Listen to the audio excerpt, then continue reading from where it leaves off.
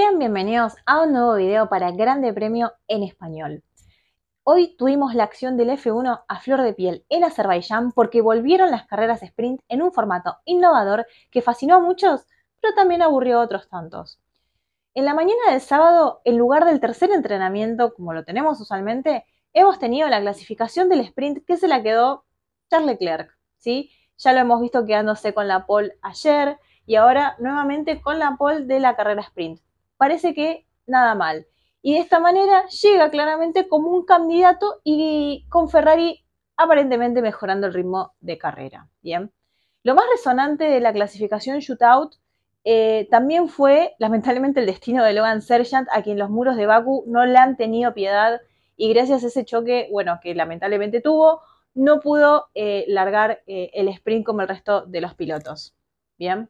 Ahora ya hablando de lo que es propiamente lo que sucedió en el sprint, al acecho de Charles Leclerc en el segundo lugar y siempre estuvo muy, muy, muy presente fue el rey de los circuitos urbanos, Sergio Pérez a bordo de un RB19 cada vez más y más veloz. Pero por ahora no nos adelantemos. Bien, pudimos ver en la primera mitad cómo Pérez se le fue acercando a Leclerc usando prudentemente el DRS, ¿sí? aunque me parece que lo más importante fue lo que estaba detrás de la primera fila con Max Verstappen y George Russell en una contienda de principio a fin, e incluso fin más allá de lo que fue la carrera. Bien, el bicampeón largaba tercero y atrás lo tenía al piloto de Mercedes. ¿sí? El acecho de Russell era inminente y sacó de las casillas a Verstappen al punto que dañó su auto y perdió la posición. De todas maneras, más allá de esta falla, ambos pudieron seguir sin problemas. Después de las primeras vueltas tuvimos la primera neutralización de la carrera gracias al neumático de Yuki Tsunoda que se salió y bueno, parece como que hizo su propia carrera en pista. Afortunadamente la carrera se pudo neutralizar a tiempo porque además la pista quedó algo sucia y Tsunoda pudo poner un nuevo neumático para seguir en carrera normalmente.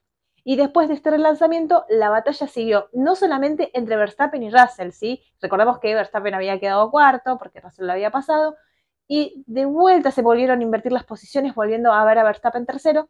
Y otro hecho que pudimos ver fue el de Sergio Pérez, que después de tanto insistir, finalmente se logró quedar con la posición de punta y quedó adelante y lo pasó a Charles Leclerc. Esto nos deja en claro una cosa. No queda ninguna duda de que los Red Bull obviamente son el auto a batir, porque incluso ellos pueden resurgir después de los relanzamientos de carrera. Hace un rato también hablamos de la mejoría de Ferrari en ritmo de carrera pero parece que esto no duró mucho, porque si bien Leclerc se mantuvo segundo, en los últimos giros se puso un poquito más lento que el puntero, o sea, puede haber ritmo de carrera, pero la fiabilidad parece ser otra tarea que Ferrari se tiene que llevar para el hogar. Igual, recordemos que Lauren Mekies declaró ayer ¿sí? que el objetivo de Ferrari es sin duda la carrera de mañana. Así que este panorama, esto que vimos en el sprint, puede llegar a mejorar el domingo, pero aún no lo sabemos. ¿sí? Esto siempre manejando las declaraciones que, em, de, la gente del equipo. Eh, retomando, ¿sí? el podio quedó Pérez, Leclerc, Verstappen. Hablábamos recién de Verstappen, hablábamos recién de Russell. La lucha entre ambos siguió incluso después de la carrera, porque George Russell le fue a pedir disculpas a Verstappen por el toque y el neerlandés no se lo tomó nada bien y la conversación remató con un su parte eh, hacia el de Mercedes.